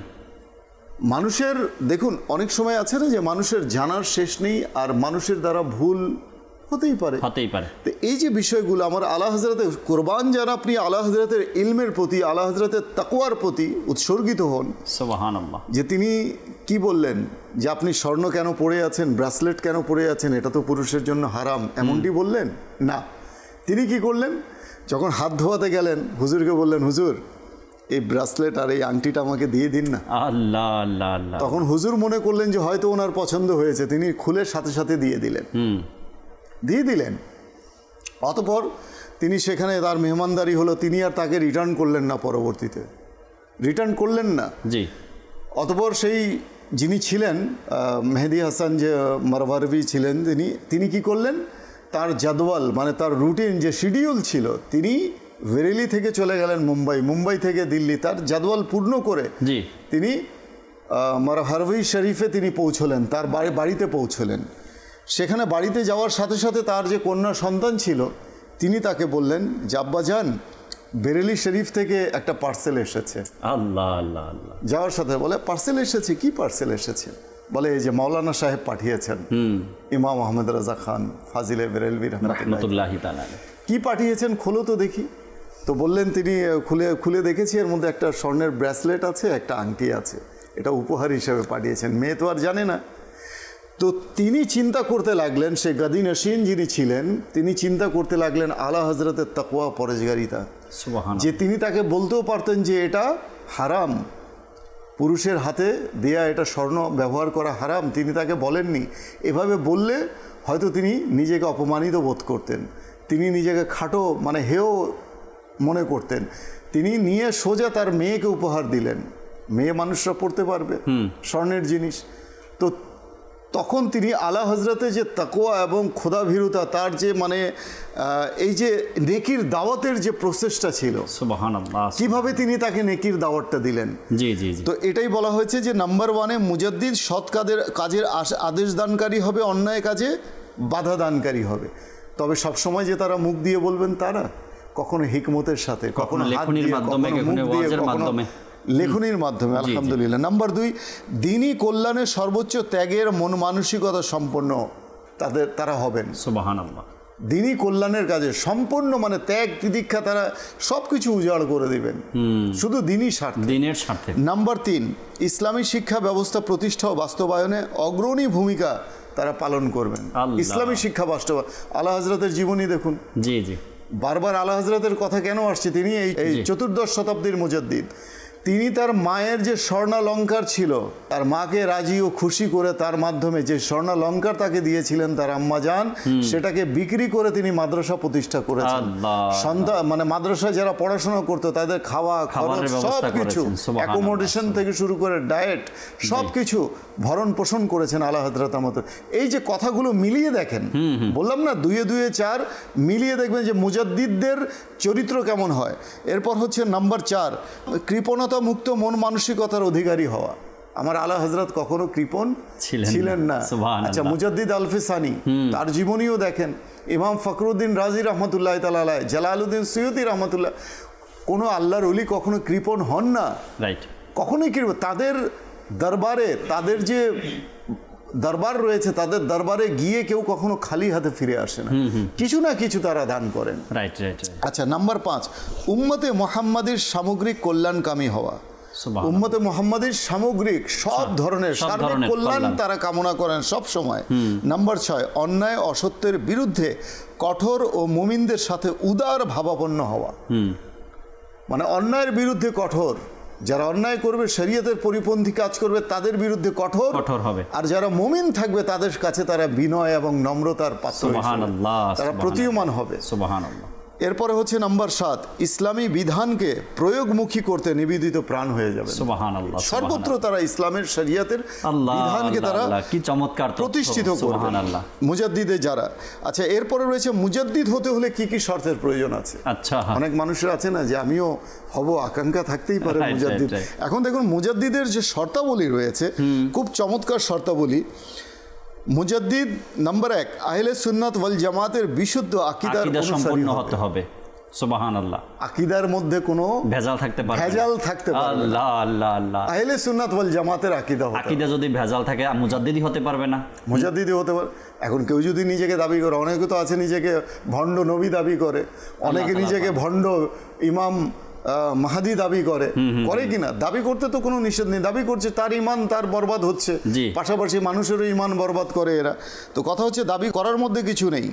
নাম্বার দুই কোরআন সুন্না তথা সারাই গভীর জ্ঞানের অধিকারী হতে হবে। কোরআন ও সুন্নার গভীর জ্ঞান থাকতে হবে তাদের কাছে। আচ্ছা নাম্বার তিন বৈষয়িক জ্ঞান বিজ্ঞানে পারদর্শী হতে হবে। মানে গ্লোবাল এডুকেশনের তথ্যাবলী তাদের কাছে থাকতে হবে। তারপর রয়েছে নাম্বার চার দিনের স্বার্থে ও কল্যাণে নিবেদিত প্রাণ হবে। নাম্বার পাঁচ সকল প্রকার বাতিলের বিরুদ্ধে আপোষহীন হবে। বাতিলের সাথে কখনো আপোষ করবে না। আপোষ করবে না। কোনো মুজাদ্দিদ করেনি করবেও না। নাম্বার ছয় শরিয়ত বিবর্জিত শির্ক বিদাতের মূল উৎপাটনকারী হওয়া। নাম্বার সাত সত্য প্রচারে নির্ভীক সাহসী ও সোচ্চার হওয়া। মাদানী চ্যানেল সত্য প্রচার করেই যাচ্ছে। আলহামদুলিল্লাহ আর থেকে আসছে? আমিরাইল সুন্নাতের কাছ থেকে আসছে। তারই শিক্ষা। যে যেটা মিথ্যা সেটা মিথ্যা যেটা সত্য সেটা সত্য, মিথ্যা বলার মধ্যে মাদানী চ্যানেল কখনো নাই। সত্য আর সত্য বলার ক্ষেত্রে কোনো ভয় পায় না। আলহামদুলিল্লাহ সত্য বলবে। এটা আমির আহলে সুন্নাতের শিক্ষা। আমির আহলে সুন্নাত কার মাধ্যমে পেয়েছেন? আলা হজরতের মাধ্যমে। পেয়েছে ইমাম গাজ্জালির মাধ্যমে। সুবাহান আল্লাহ হ্যাঁ, তাদের পাকের মাধ্যমে। গসে পাকের মাধ্যমে। তাদের জীবনের দর্শন আমার আমির আহলে সুন্নাত স্টাডি করে তার নিজের জীবনে সেগুলো অ্যাপ্লাই করেছে। করেছে সুবাহান আল্লাহ এরপরে আসুন যে নাম্বার আট ক্ষুদ্র স্বার্থ ব্যক্তির স্বার্থ পরিহার করে ধর্মীয় স্বার্থকে প্রাধান্য দেবে। আমির আল সুন্নতকে কত মানুষ গালমন্দ করে? আলা হজরতকে করেছেন গিবত করেছে আলা হজরতের বিরুদ্ধে। পাঠিয়েছেন। মানে আমি জাস্ট পাঠিয়েছেন। আলা হজরতের কথাগুলো এই জন্যে বলছি যে আলা হজরত আমার এই ইমামে আহলে সুন্নাত এ আলা হজরতের জীবনের যে আদর্শগুলো জি। সেগুলো আমির আহলে সুন্নাতের চরিত্রের মধ্যে ফুটে আসে। জি। ফুটে আসে। এটা তো সময় প্রমাণ করবে সময় দাবি করবে যে তাকে কি নামে আখ্যা দেয়া যায়। যেমন। আমির আল সুন্নাত আমার মৌলানা ইলিয়াস আত্তার কাদরি উনি নিজে রাখেননি যেটা আগে বললাম। জি। তৎকালীন মানে যে ইয়েটা ছিল আলা হজরতের ঠিক তদ্রূপ তার যে চারিত্রিক যে আদর্শ ছিল সেটা যে ক্ষুদ্র স্বার্থ ব্যক্তির স্বার্থে কখনো তিনি প্রাধান্য দেবেন না। ব্যক্তিগত স্বার্থ এবং ক্ষুদ্র স্বার্থ। সবসময় ধর্মীয় ধর্মীয় স্বার্থটাকে তিনি আগে দেখবেন। প্রাধান্য দেবেন। নাম্বার নয় সমালোচক ও নিন্দুকের সমালোচনা ও নিন্দার তোয়াক্কা করবেন না তারা। এটা হচ্ছে শর্ত। নাম্বার দশ হচ্ছে শরীয়ত তরিকতের পূর্ণ অনুসারী হওয়া। পূর্ণ অনুসারী। আমরা তো আল্লাহ হজরতকে দেখিনি দেখেছি? ইমাম মানে মুজাদ্দিদ আলফেসানিকে দেখিনি। দেখিনি। ফখরুদ্দিন রাজি রহমতুল্লাহ। দেখিনি। ইমাম জালাউদ্দিন সৈয়দি এই আপনার বড় পীর আব্দুল কাদের জিলানিকে দেখিনি। কিন্তু তাদের ইতিহাস পড়ে তাদের জীবনী পড়ে দেখছি। সেগুলো আমির আহলে সুন্নাতের চরিত্রের মধ্যে আমরা দেখতে পাচ্ছি। দেখতে পাচ্ছি। রাইট রাইট এখন আপনি দেখুন যে শরিয়ত এবং তরিকতের পূর্ণ অনুসারী তারা। তারা। আমির আহলে সুন্নাত আলহামদুলিল্লাহ। নাম্বার এগারো কোরআন সুন্না ও শরীয়ত বিরোধী সকল প্রকার অনইসলামিক কর্মকাণ্ড বিরুদ্ধে কঠোর প্রতিবাদী হওয়া জাহিরি ও বাতিনি ইলিমের অধিকারী হওয়া। যুগের শীর্ষ ওলামা মাসায়েক তার দিনই সংস্কারমূলক কার্যক্রম দেখে তাকে মুজদ্দিদ হিসাবে স্বীকৃতি প্রদান করে এটা এটার জন্য অপেক্ষা করতে হবে। সময় বলে দেবে। যেমন আলা বলে হজরত তিনি কি বলেছেন যে আমি মুজাদ্দিদ? তিনি বলেছেন আমি ইমাম। ইমামে আহলে সুন্নাত না? যুগ তাকে বলেছে। আলা হজরতও বলেন নাই। আলা কোনো কেউই বলেন না। কেউ বলবেন আলা। হজরত তো বাস মানুষ বলতে বলতে বলতে বলতে আলা হজরত বলেছেন। তো তদ্রূপ কোনো আল্লাহর ওয়ালি নিজেকে কখনো বলে না আমি আল্লাহর ওয়ালি। Right, তো বোকা। যারা এরকম বলে থাকে মোজাদ্দিদরা তো নিজের নাম কামানোর জন্য নিজের পরিচিতি অর্জন করার জন্য বা এমন নামে না গুণান্বিত হওয়ার জন্য তো এগুলো করে না। মোজাদ্দিদরা তো আল্লাহ তার রাসুলের সন্তুষ্টির জন্য চোখ বন্ধ করে দিন রাত পরিশ্রম করতে থাকে করতে থাকে। কখন যে কীভাবে কোন এলাকা থেকে কোন মানুষের মাধ্যমে এমন নামের যে তারা সুনাম পেয়ে যায় এটা তারা খবরও রাখে না। অহংকার। বশত নিজের গুণাবলী নিজের শান ও মান নিজের প্রশংসাকে কোনো আল্লাহর ওলি বলবে না। বলবে না। বলবে না। সেটা যতক্ষণ পর্যন্ত আল্লাহ তালার পক্ষ থেকে সেটা প্রকাশ না পায়। রাইট যেমন দেখবেন ভাত যখন উথলে ওঠে তখন কিন্তু ঢাকনিটা যে আছে লিড ঢাকনাটা এটা পড়ে যায়। পড়ে যায়। যেমন আমার গসে পাকেরই দেখুন কাসিদায় গসিয়ার মধ্যে আমার গসে পাক কেমন নিজের শানমানকে ওয়াজদের হালতে। তন্ময় অবস্থায় তিনি আল্লাহ তালার স্মরণে বিভোর ছিলেন। জি। আর যেই জাম যে অমীয় সুধা আল্লাহ তালা তাকে পান করিয়েছেন ভিলায়েতের সেই সুধা পান করে তন্ময় অবস্থায় তিনি নিজের সমস্ত প্রশংসা তিনি করেছেন এই কাসিদায় গসিয়ার মধ্যে। জি জি। তিনি বর্ণনা করেছেন। আচ্ছা নাম্বার চোদ্দ মুজাদ্দিদ বিশেষ কোনো পরিবারভুক্ত হওয়া বা মুজতাহিদ হওয়া এটা শর্ত না। নাম্বার পনেরো দিনী ব্যক্তিত্ব সম্পন্ন যুগের খ্যাতিমান প্রসিদ্ধ ব্যক্তি হওয়া। সে প্রসিদ্ধি লাভ করবে খ্যাতিমান হয়ে যাবে। অর্থাৎ যুগ তাকে প্রসিদ্ধি দিয়ে দেবে। সম্মান দিয়ে দেবে. তো মুজাদ্দিদ যারা রয়েছেন তাদের এই এই যে আপনি বর্ণনাগুলো দিলেন না প্রায় পনেরোটা বিষয় বললেন আল্লাহ তালার দয়ায়। শর্তাবলী। যে হ্যাঁ শর্তাবলী। যেগুলো বাকি আমরা যে নামগুলো শুরুতেই রফিক ভাই থেকে শুনলাম আজ দেখেন জালালউদ্দিন সুইতি রহমতুল্লাহ তালাই তার জীবন অধ্যয়ন করলে প্রত্যেকটা বিষয়ই কিন্তু তার মিলে যাবে। বিদ্যমান ছিল এবং মিলে যাবে। সেই যে আল্লাহ হজরত রহমতুল্লাহ তালার ব্যাপারে দেখেন মুজাদ্দেদ আলফিসানি রহমতুল্লাহ তালার ব্যাপারে দেখেন ওমর বিন আব্দুল আজিজ রহমতুল্লাহ সবার সকল মুজাদ্দিদের ব্যাপারে এই বিষয়গুলো কিন্তু তাদের সাথে মিল আছে। আমরা ইনশাল্লাহ তাবারকতালা মোতালিব ভাই থেকেও শুনব। আরও কিছু কথা নাতের রসুলের কিছু অনুরোধ ছিল। কালামের অনুরোধগুলো আমরা শুনে নিই, এরপর আপনার কাছে আসব ইনশাল্লাহ তালা। জি। আমার প্রাণের মদিনা, সোনার মদিনা, আমার প্রাণের মদিনা, সব বলিব কিন্তু তোমায় বলতে পারি না। মদিনা, সব পারি না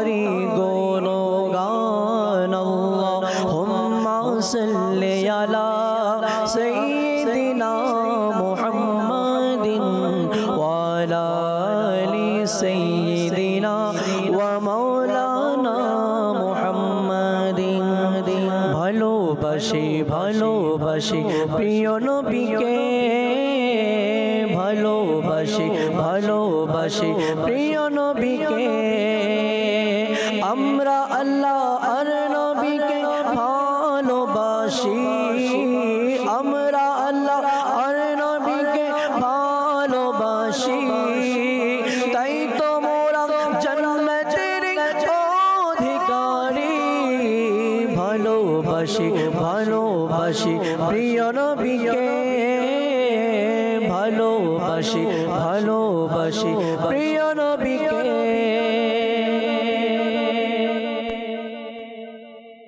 অনুরোধের কালামগুলো শুনতেছিলাম নুরুলান ভাই থেকে। মোতালিব ভাই আরও কিছু মাদানী ফুল? ওমর বিন আব্দুল আজিজ রহমতুল্লাহ আলার এক দুইটা ওনার তাকুয়ার ঘটনা দিয়ে ওনার জীবনী পরে আবার অন্য কোনো মুজাদ্দিদ রহমতুল্লাহ আলাইয়ের জীবনী ইনশাল্লাহ শুরু করব। উমর বিন আব্দুল আজিজ রহমতুল্লাহ আলাইয়ের যে তাকুয়া ছিল সেটার মাত্রা তো বলে বোঝানো যাবে না। তবে এতটুকু বলা যায় যে দূর থেকে একজন মহিলা তার বাড়িতে আসলো দেখল যে ঘরের সামনে পর্দা টানানো। ঘরে নক করলেন ভিতর থেকে মহিলা আওয়াজ দিলেন। তিনি বললেন যে কি ভিতরে কে আছেন? তো মহিলা আওয়াজ দিলেন যে আপনি কাকে চান? তো বললেন আমি খলিফাকে চাই। বললেন আপনি গাছের নিচে গিয়ে বসেন। উনি আসছে। তো উনি সেখানে বসলেন গিয়ে পরবর্তীতে দেখলেন যে একজন লোক কুয়া থেকে পানি তুলছে এবং কুয়ার চারপাশে এই যে শুকনো মাটি ছিল সেগুলোকে ছিটিয়ে ছিটিয়ে দেখছে। তো পরবর্তীতে ওই ঘর থেকে মহিলা এসে তাকে সাহায্য করছেন। তো বললেন আপনি কে? তো বললেন আমি হচ্ছি খলিফার স্ত্রী। তো বললেন আপনি পুরুষের সামনে আসছেন পর্দা কোথায় আপনার? তো বললেন তো খলিফা তো ইনি নিজেই। তো তিনি হতবাক হয়ে গেলেন।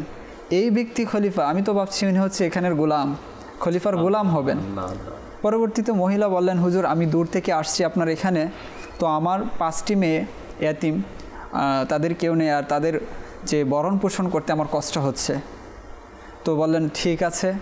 তো বাৎসরিক যে রাষ্ট্রীয় কোষাগার আছে সেখান থেকে তাদের পক্ষ থেকে কিছু পরিমাণ সম্পদ বা খাবার দাবার পৌঁছে যাবে প্রতিনিয়ত তোমার এলাকার যে গভর্নর আছে তার কাছ থেকে। তো তিনি বললেন তোমার মেয়ের নাম কি বলো? প্রথমত মেয়ের নাম লিখলেন তার নামে লেখার পর তো মহিলা দোয়া করলেন আলহামদুলিল্লাহ। পরবর্তীতে দ্বিতীয় মেয়ের নাম লিখালেন সেখানেও আলহামদুলিল্লাহ বললেন তৃতীয় চতুর্থ জন আলহামদুলিল্লাহ বলেন পঞ্চম জনের যখন নাম লিখবেন তখন তিনি আলহামদুলিল্লাহ এটা না বলে খলিফার প্রশংসা শুরু করলেন। আল্লাহ। তখন তিনি লেখা থামিয়ে দিলেন। বললেন অফ করে দিলেন। বললেন না আমি তার নামে লিখব না। বলে কেন হয়েছে এতক্ষণ পর্যন্ত লিখছিলাম এই জন্য তুমি আল্লাহ তালার প্রশংসা করছিলে। এখন তুমি আল্লাহর প্রশংসা যিনি প্রশংসার দাবিদার যিনি প্রশংসার লাইক তার প্রশংসা ছিল তুমি বান্দা প্রশংসা শুরু করেছ। তো তোমার যে চার মেয়ের যে আমি যে খরচ বরণ পোষণের যে বিষয়টা লিখেছি সেখান থেকে তাদেরকে বলবে কিছু কিছু করে দিয়ে যেন পঞ্চমের জন্য ব্যবস্থা করে নেয় সহজ করে নেয়। তো এভাবে তিনি যখন লিখলেন লিখে যাওয়ার পর তার যে এলাকার গভর্নর তার কাছে গেলেন। যাওয়ার পর এটা দেওয়ার পর গভর্নর দেখি কান্না শুরু করে দিলেন। যে কাঁদছেন কেন? যে তোমার চিঠি আসার আগের পূর্বে আরও একটা সংবাদ আমার কাছে এসেছে। সেটা কি? যে খলিফা উমর বিন আব্দুল আজিজ রহমতুল্লাহ আলাই ইন্তেকাল করেছে। এই জন্য আমি কাঁদছি। তো বললেন হুজুর তাহলে আমার এই বিষয়টা? ও তো গভর্নর বললেন খলিফা যেটা লিখে গেছে আমি সে জীবদ্দশায় আমি যেভাবে তাকে মানতাম সে ইন্তিকাল করেছে আমি এখনও তাকে অনুরূপ। হিসাবে তাকে গ্রহণ করব তার কথাকে আমি মান্য করব। অর্থাৎ তোমার মেয়েদের যে খরচ এবং লিখে দিয়েছেন এটা আমি পালন করব। পালন করব। তো এই হচ্ছে তার তাকুয়া তার যখন বললাম যে তারা কখনো আপোষ করবে না পূর্ববর্তী যারা খলিফা ছিল বিভিন্ন জনের মানে বেআইনিভাবে বিভিন্ন জনের জন্য রাষ্ট্রীয় কোষাগার থেকে সম্পদ যেত। তো আসার পর তিনি সবগুলো বন্ধ করে দিলেন। রাইট তার ফুফু যিনি যিনি ছিলেন তার জন্য বন্ধ করে দিলেন এবং এক ব্যক্তির জন্য বিশ হাজার দিনার বাৎসরিক খরচ হিসাবে দেওয়া হতো কোনো কারণ ছাড়া। আপন আত্মীয় কিন্তু আপন আত্মীয় সেটাও বন্ধ করে দিলেন। পরবর্তীতে যে ঘরের আশেপাশে এই জিনিসগুলোর কারণে শত্রু হয়ে গেল তাকে বিষ প্রয়োগ করা হলো। তিনি ইন্তিকাল করবেন মৃত্যুর আগ মুহূর্তে সন্তানকে ডেকে আনলেন যে তুমি কোনো এলাকায় গিয়ে আমার জন্য কবরস্থানের আমার যে যেখানে দাফন করা হবে এর জন্য জায়গা ক্রয় করো। তো তার ছেলে বলছেন যে আপনাকে তো মানুষ চায় আপনার দাফন কাফন যেন মদিনায় হয়। তো তিনি বললেন আমি কি আর উপযুক্ত? আমি কি আর লাইক যে আমার দেহ মদিনায় শরীফে যেখানে রসুল সাল্লাহ আলাহি আসাল্লামের দেহ আছে সেই জমিনে আমার দেহ লাগবে। আমি কি আর যোগ্য? আল্লাহ আল্লাহ। আল্লাহ। তো তিনি বললেন আমার জন্য আমি ইন্তিকাল করার পর তুমি দুই দিরহাম দিয়ে আমার কাপনের কাপড় ক্রয় করবে। তো যদি আমি জান্নাতবাসী হই তো জান্নাতের পোশাক তো পেয়ে যাব। আল্লাহ। আর যদি জাহান্নামবাসী হই তাহলে অযথা কেন এত দামি কাপড় নষ্ট আল্লাহ আল্লাহ তো এই হচ্ছে একজন মুজাদ্দিদ উমর বিন আব্দুল আজিজ রহমতুল্লাহ আলাই যে আমরা আমাদের অবস্থা সম্পর্কে একটু দেখি যে তারা ছিলেন বাদশাহ। যাকে খোলাফায় রাশিদিনদের জীবনী যখন লেখা হয় উমর বিন আব্দুল আজিজ রহমতুল্লাহ তালা আলাইকে তাদের জীবনীতে ঢুকিয়ে দেয় মানুষ। যে তার যে জীবন তিনি জীবন যেভাবে নিজের জীবনকে অতিবাহিত করেছেন মুসলিম উম্মার জন্য শিক্ষা। আমরা তো আজকে বলি যে মুসলিম উম্মার গাইডলাইন কোথায়? মুসলিম উম্মা কি শিখছে? কোথায় আছে সেই মুসলিম উম্মার শিক্ষা? উমর বিন আব্দুল আজিজের জীবনী পড়েন। তো পাবেন মুসলিমের আসল পরিচয় কি? রাইট রাইট রাইট রাইট অনুরূপভাবে যে আহমদ বিন হাম্বল রহমতুল্লাহ তালা আলাই তিনিও যে সংস্কারক ছিলেন ইসলামের সংস্কারক। তার জীবনী তো এটা বিশেষভাবে প্রতীয়মান হয়। তিনি যে পরিমাণ অত্যাচার সহ্য করেছেন ইসলামের উপর প্রতিষ্ঠিত থাকার জন্য সঠিক আকিদার উপর প্রতিষ্ঠিত থাকার জন্য যে কোনো তার ইতিহাসটা পড়বে তো কান্না চলে আসবে। বাতিল পন্থীদের সামনে তার মাথা নত না করার যে বিষয়টা আপোষ করবে না। আপোষ আপোষ করবে না যে বাতিল যারা সামনে আল্লাহ তার রাসূলের সাথে শত্রুতা পোষণ করে তার সাথে তাদের সাথে কোনো আপোষ নেই। এটার উপরে প্রতিষ্ঠিত থাকার জন্য তিনি অনেক কষ্ট করছেন। অনেক কষ্ট করেছেন। একটি মাসালার জন্য যেটা এই মাসালা যদি কেউ মেনে নেয় এটাকে স্বীকার করে নেয় তাহলে ভিন্ন আকিদা হয়ে যাবে। ইসলামের আকিদা এটা নয়। তো তাকে ডেকে নেওয়া হলো যে আপনি কি এটা মানেন? বলে না আমি এটা মানি না। তোমরা যেটা পোষণ করো সেটা আমি সেটা আমি পোষণ করি না। এই বিষয় পোষণ করি না। তো তুমি জানো তো খলিফার থেকে এলান এসেছে তুমি যদি এটা না মানো তোমাকে কয়াত করা হবে। তো তাকে কয়াত করা হলো নিয়ে যাওয়া হলো খলিফার কাছে। এরকম একটা পর্যায়ে আসলো তিনি সেই মাসালা মেনে নেবেন না।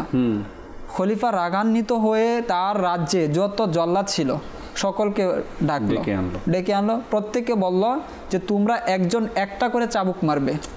চলে যাবে আবার আসবে এরকম ভাবে অর্থাৎ সাথে এমন। এরকম হচ্ছে যে একাধারে দশটা চাবুক মারলে হয়তো সেরকম আঘাত পাবে না। দুইটা তিনটা মারার পর তুমি ক্লান্ত হবে। এরকম করে নাই। একজন একটা করে মারবে। মারবে, তারপরও তিনি সেই মাসালাতে মাসালা তাদের সাথে সমর্থন করেনি। তাদের যেটা আকিদা আকিদা। সেটা মেনে নেয়নি আর কারণ ছিল যে সারা উম্মত তার দিকে চেয়েছিল তখন যে তিনি যদি মেনে নেন মেনে নিতেন মেনে নিতেন। তবে এই উম্মত এই মুসলমান এই রাজ্য ওটাই মেনে নিত ভ্রান্ত আকীদা শিখে- হ্যাঁ। একজন মুজাদ্দিদ তিনি যেটা মেনে নিবে ওটাই সব মানুষ। তখন মেনে নিবে। এই রকম অত্যাচার তার উপর করা হয় যে কখনো কখনো চাবুকের আঘাতে এরকম প্রায়ই হয়েছে যে আঘাত করতে করতে তিনি আঘাতের কারণে বেহুশ হয়ে গেছে তারপরও কখনো তিনি এই বাতিল আকিদার সাথে ভ্রান্ত আকিদাকে তিনি মেনে নেন মেনে নেন নাই। তো সকল উম্মত এ থেকে শিক্ষা নিয়েছে যে বিপদ আমাদের সামনে যতই আসুক। কখনো আল্লাহর বিরুদ্ধে ইসলামের বিরুদ্ধে শরীয়ত যেটা সমর্থন করে না সেটাকে গ্রহণ করা যাবে না। এটাই হচ্ছে ইসলামের সংস্কারক। যে বিপদ যতই আসুক যাই কিছু আসুক ইসলামকে আঁকড়ে ধরে থাকতে হবে। আমরা পরবর্তীতে যদি দেখি ইমাম গাজালি রহমতুল্লাহ তালা আলাই তার সময় উলামা ছিল বিভিন্ন মাদ্রাসা প্রতিষ্ঠিত ছিল মানুষ ইসলাম শিক্ষা করছিল ধর্মীয় শিক্ষায় সবাই শিখছিল। মোটামুটিভাবে আম জনসাধারণ মানুষের মাঝে ধর্মীয় শিক্ষার একটা প্রভাব ছিল। তবে রিয়ার যে বিষয়টা সেটাও ঢুকে পড়েছিল। তো তিনি মানুষকে এমনভাবে সাফ করলেন মানুষের অন্তরকে এমনভাবে পরিষ্কার করলেন এটাকে ইসলামের সংস্কারক বলা হয়। তার ব্যাপারে আসছে তিনি বলেন যে মানুষের মাঝে চারটা জিনিস।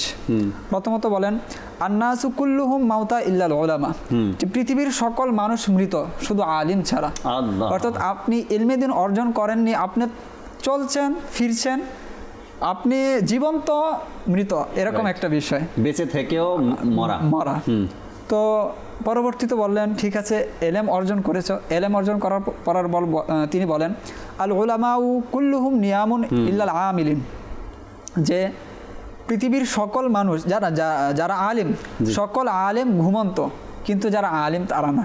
আচ্ছা। আলিম হয়েছেন কিন্তু আপনি আমল করবেন না।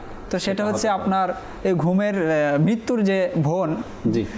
ঘুমকে মৃত্যুর বোন বলা হয়েছে যে আন্নামু উখতুল মাউতি। ঘুম হচ্ছে মৃত্যুর বোন তো আপনি কাছাকাছি। হ্যাঁ, আপনি এলেম অর্জন করেছেন কিন্তু আমল করলেন না তাহলে আপনার মৃত্যু কাছাকাছি। কাছাকাছি। পরবর্তীতে বলছেন আল আমিলুনা কুল্লুহুম ফি খাসারানিন ইল্লাল মুখলেসিন। যে আমল আপনি করছেন এলেমও আছে কিন্তু একনিষ্ঠতার সাথে নয়। আপনার মাঝে রিয়া আছে তো সে আমল কোনো কাজ হবে না ইখলাসের সাথে আমল করতে হবে। এখন আপনার মাঝে ইখলাস আছে আপনি আমল করছেন আপনি আলিম সব কিছু আছে। তো এর পরিবর্তিতে বলছেন অল মুখলিসুনা কুল্লাহুম আলা খাতারিন ইল্লাল খাইফিন। আপনি আমল করছেন আপনি আলিম আপনি সব কিছুই করছেন। কিন্তু আমল করার পর আপনি আবার বাহাদুরও করছেন যে আমি আমলের মাধ্যমেই চলে যাব জান্নাতে। সেটাও হবে না সেটাও হবে না। বলছেন ইল্লা খাইফিন। সব কিছু থাকবে এবং পাশাপাশি আল্লাহকে ভয় করতে হবে। যে এই আমল দ্বারা আমি কি জান্নাতে যাব? এটা আল্লাহ তালার ইচ্ছা। হাদিস শরীফের মধ্যেও আসছে। এক ব্যক্তি সে দুইশো বছর আমল করেছে মানে ইসরায়েলের এক ব্যক্তি। আমল করার পর তার আমল নামায় কোনো গুণা নাই। তো আল্লাহ তালা বললেন যে আমার ফসলের কারণে তোমাকে আমি মাফ করে দিলাম। তখন সে বলল আল্লাহ তুমি যদি আমার থেকে হিসাব নাও তখন আমি জান্নাতই পাবো। আমি যে আমল করেছি? তো আমি যে আমল করেছি এর জন্য আমি জান্নাত পাবো? জান্নাত পাবো। তোমার ফজল আল্লাহ তালা বলছেন আমি তো আমার দয়া আমার অনুগ্রহে তোমাকে জান্নাত দিলাম। সে বলছে আল্লাহ তুমি যদি হিসাবও নাও। তাহলে আমি জান্নাতে যাই বলো আচ্ছা। তো পরবর্তীতে একদিন সে রাস্তা দিয়ে হেঁটে যাচ্ছে বাগান এর পাশে একটা খড়খুটা সে হাতে নিয়ে নিজের দাঁত খিলাল করতে শুরু শুরু করল। পরবর্তীতে বলল ফেরিস্তা এখন এর হচ্ছে যে সে বলেছে হিসাব নেওয়ার পালা। তো সে তাকে ধরে নিয়ে আসা হলো যে আপনি যে এই খড়কুটা নিয়েছেন এটার মালিক তো আপনি না। এটার মালিক তো এই বাগানের মালিক। তো কি করা যায়? মালিককে ডাকা হলো। ডেকে আনার পর আপনি এর বিনিময়ে কী চান? এখন মালিক ছিল খুবই গুণাগার। সে বলল আমি ততক্ষণ পর্যন্ত মাফ করব না। যতক্ষণ পর্যন্ত আমার যে গুণা আছে সেই সব না হবে তাকে দেওয়া না হবে। তা- তো তার আমল আমার আমল নামায় দেওয়া দেওয়া হয়। তো এই জন্যই বলা হচ্ছে যে আমল করে তাকাব্বুর করা যাবে না। এটাই মুসলিম উম্মার কাছে শিক্ষা যে আপনি আমল করছেন ইলমেদিন হাসিল করছেন আপনাকে পাশাপাশি আল্লাহকে ভয় করতে হবে আশা আকাঙ্ক্ষা রাখতে হবে আল্লাহর উপর এই ভরসা রেখে আমল করতে হবে যে আল্লাহ তাআলা চাইলেই আমি ক্ষমাপ্রাপ্ত হব। আল্লাহ ইমাম গাজালি রহমতুল্লাহ তালা আলাই যে তিনি ইমাম গাজালি কীভাবে হলেন এই মর্যাদায় তিনি কীভাবে উপনীত হলেন এর যে ভূমিকা রয়েছে আমাদের মা যারা আছেন তাদের শোনা উচিত। ইমাম গাজালি রহমতুল্লাহ তালা আলাই তাদের গরানায় ছিল গাজালি তার বড় ভাই ছিল আহমদ আর তার নাম ছিল মোহাম্মদ আবু হামিদ মোহাম্মদ গাজালি রহমতুল্লাহ তালা আলাই তিনিও তার বড় ভাই অত্যন্ত উঁচু মাপের একজন আলিম ছিলেন। কাশফ যেটা বলে সেটা তার খোলা ছিল। তিনিও তাকওয়াবান ছিলেন। তো ইমাম মোহাম্মদ অর্থাৎ ইমাম মোহাম্মদ অর্থাৎ ইমাম গাজালি রহমতুল্লাহ আলের বড় ভাই তিনি তার পিছনে নামাজ পড়তেন না। তো আচ্ছা। লোকে বলা বলি করতো যে তার ভাই তার পিছনে নামাজ পড়ে না। তো ইমাম গাজালি রহমতুল্লাহ আলহ তার মাকে বললেন যে মা আপনি ভাইকে বলুন যেন আমার পিছনে নামাজ পড়ে আমি যে মসজিদে নামাজ পড়াই তো তিনি তার ভাইকে বুঝিয়ে বললেন তো তার মা যে তুমিও তার পিছনে নামাজ পড়ো তো তিনি একদিন গেলেন নামাজ তো নামাজে যাওয়ার পর এক রাকাত পরে দ্বিতীয় রাকাতে তিনি নামাজ ছেড়ে চলে। চলে আসলেন তো এখন তো আরও হয়েছে শুরু হয়ে গেল এতদিন আসতো না সেটা ছিল এক বিষয়। কথা ছিল এখন এসে নামাজ ছেড়ে দিয়ে চলে গেছে? চলে গেল। তো আসলেন ঘরে আসলেন এতদিন তো ঠিক ছিল। এখন ইমাম গাজালি রহমতুল বলছেন আমার এতদিন তো তারপরও ঠিক ছিল।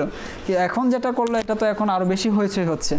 তো তিনি জিজ্ঞাসা করলেন যে তুমি কেন এভাবে ছেড়ে চলে আসলে? হুম। তো বললেন প্রথম রাখা তো ঠিক ছিল কিন্তু দ্বিতীয় রাখা সে আর নামাজের মধ্যে ছিল না। যেহেতু নামাজের মধ্যে ছিল না আমি চলে আসছি। তো ইমাম গাজালিকে জিজ্ঞাসা করল বিষয়টা কি? তো তিনি বললেন হ্যাঁ প্রথম রাখাতে তো আমি পরিপূর্ণ আল্লাহর দিকেই ছিলাম। কিন্তু দ্বিতীয় রাকাত যখন আমি শুরু করি তখন আমি একটা মাসালা নিয়ে নামাজের মধ্যেই আমার চিন্তা চলে গেছে। আল্লাহ আল্লাহ আল্লাহ। তো এই জন্য তো ইমাম গাজালি রহমতুল্লাহ আলাইয়ের যে তার মা তিনি বললেন যে আমার এই উভয় সন্তানের প্রতি আমি আশা রাখতে পারি না। আল্লাহ আল্লাহ। কেন আশা রাখতে পারেন না? ক- একজন নামাজের মধ্যে সে আল্লাহ বিমুখ হয়ে যাচ্ছে অর্থাৎ মাসালার মধ্যে সে মনোনিবেশ করে ফেলছে। আরেকজন নামাজের মধ্যে দাঁড়িয়ে মধ্যে দাঁড়িয়ে সেও আল্লাহর প্রতি নয় সে ভাই তার ভাই কি চিন্তা করছে? প্রতি তার খেয়াল রাখে। সে তার ভাই কি চিন্তা করছে? সে সে নিয়ে ব্যস্ত। অর্থাৎ কেউ আল্লাহর প্রতি নয়। তো ইমাম গাজালি রহমতুল্লাহ তালা আলার মা তিনি অত্যন্ত তাসাউফের কেমন তাকুয়াবান মা তাকুয়াবান মা ছিলেন। তিনি তাদেরকে ওই রকম ভাবে গড়ে তুলেছেন সন্তানকে কেমন শিক্ষা দিয়েছেন আর কেমন সন্তান তৈরি করেছেন যে সন্তানরা মুজাদ্দিদ হয়েছেন বা এক মুসলমানের জন্য এক ইতিহাস সন্তান না? তাই না? বড় ভাই বলেন বা ছোট ভাই বলেন। কেমন ছিলেন তারা? আর কেমন মা তাদেরকে লালন পালন করেছেন বা বড় করেছেন? আমাদের আমির আলী। সুন্নত দামাত আলিয়া তিনি তো ইমাম গাজালি রহমতুল্লাহ আলার কিতাবগুলো আমাদেরকে পড়তে সবসময় উদ্বুদ্ধ করেন। যে ইমাম গাজালি রহমতুল্লাহ আলার কিতাব পড়া মানুষের অন্তর জীবিত হয়ে যায়। আমি শেষ একটি ঘটনা দ্বারা শেষ করব।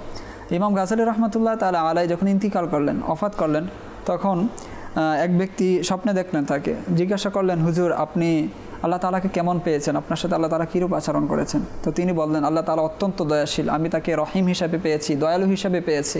তো হুজুর আল্লাহ তালা আপনাকে কেন ক্ষমা করেছে? আপনি যে আমল করেছেন জীবনভর মানুষকে উপদেশ দিয়েছেন কিতাব লিখেছেন এগুলোর কারণে কি আল্লাহ তালা আপনাকে ক্ষমা করে দিয়েছেন? বললে না আমার এই সবগুলো তার জায়গায় ঠিক ছিল। সবগুলো ঠিক ছিল। তো আল্লাহ তালা আমাকে এমন একটি আমলের মাধ্যমে মাফ করেছেন যে তিনি বলেন যে আমি একদিন তখন তো আর বর্তমান যে কলম সেই কলম সিস্টেম ছিল না দোয়াত ছিল সেখান থেকে কালি উঠিয়ে লেখা হতো। তো তিনি কলমে কালি উঠিয়ে যখন লিখবেন তখন হঠাৎ একটি মাছি এসে কলমের মুখে বসে গেল সেই কালি পান করতে লাগল। আর দিনটা ছিল খুবই গরম। তো তিনি বুঝতে পারলেন যে অনেক পিপাসত্ব পেয়েছে। একটা মাছি। তো তিনি বললেন না একে তাড়াবো না সে যতটুকু পান করার পান করে চলে যাবে। আবার নতুন করে আমি দোয়ার থেকে কালি উঠিয়ে লিখব। তো তিনি অপেক্ষা করতে লাগলেন মাছি পান করতে লাগল এক সময় সে উড়ে চলে গেল। তো আল্লাহ তালা সেই মাছির যে আমি তাকে এই যে তৃষ্ণা নিবারণ করেছি করিয়েছি এই জন্য আল্লাহ তালা আমাকে মাফ করে দিয়েছেন। আল্লাহ তালা বলেন তুমি একে কেন পানি পান করালে? এত তোমার প্রশংসা করবে না। আমরা তো মানুষকে তখনই কিছু করি আমরা মানুষকে দান করি আমরা মানুষের খয়রাত করি সাহায্য করি এই জন্য করি যে পরবর্তীতে আমার প্রশংসা করবে। অথবা এরকম নিয়ত থাকে যে তার থেকে পাবো।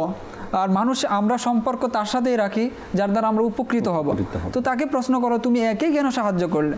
তখন তিনি বললেন হে আল্লাহ আমি এই জন্য সাহায্য করেছি এটি তোমার মাখলুক। আল্লাহ। তো আল্লাহ তাআলা তার এই জন্যই বিশেষভাবে বলা হ্যাঁ। যে এই জন্য আল্লাহ তালা তাকে মাফ করে দিয়েছে। সুবাহান আল্লাহ জানি না কার কখন কোনভাবে মাফ হয়, আর আমরা আলোচনা শুনছিলাম মোজাদ্দিদের ব্যাপারে, আল্লাহ তাবারাকতালা আমাদেরকেও ইসলামের সঠিক জ্ঞান রাখার, সঠিক বুঝ রাখার সেই তৌফিক আল্লাহ আমাদেরকে দান করুক। দাওয়াত ইসলামের সাথে থেকে আমাদের কাফলায় সফর করে, জামিয়াতুল মদিনায় ভর্তি হয় ইলমেদিন অর্জন করে। ইসলামের সঠিক জ্ঞান যেন আমরা রাখতে পারি, আল্লাহ তালা সে তৌফিক আমাদেরকে দান করুক। দর্শক শ্রোতা, অনেক কিছুই বাকি রয়ে গেছে যা আপনাদের সাথে আজকে আলোচনা করতে পারিনি। আবার যদি কখনো কোনো অনুষ্ঠানে এমন টপিক থাকে, তবে অবশ্যই আপনাদেরকে জানাব, শোনাবো। ইনশাআল্লাহ তাবারকতালা আসুন যে যেখানে আছি, আমরা দাঁড়িয়ে সালাত সালাম পাঠ করি। ইয়ান বি سلام عليك